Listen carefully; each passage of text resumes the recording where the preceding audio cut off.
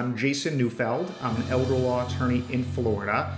What I have devoted myself to doing with this show is really giving people access to information and resources that they did, might not have known existed. So we just talked about Medicaid planning for a second. A lot of people think that you have to lose all of your money, you have to spend all of your money first before you can qualify for help paying for this stuff.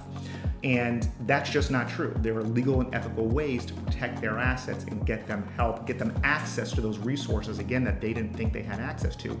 Not only that, but I spent a lot of time interviewing different stakeholders in the community, right? Different government agencies, different nonprofit organizations, but I've committed myself to providing people with these free access to free or low cost resources so that they can ultimately improve the quality of their lives.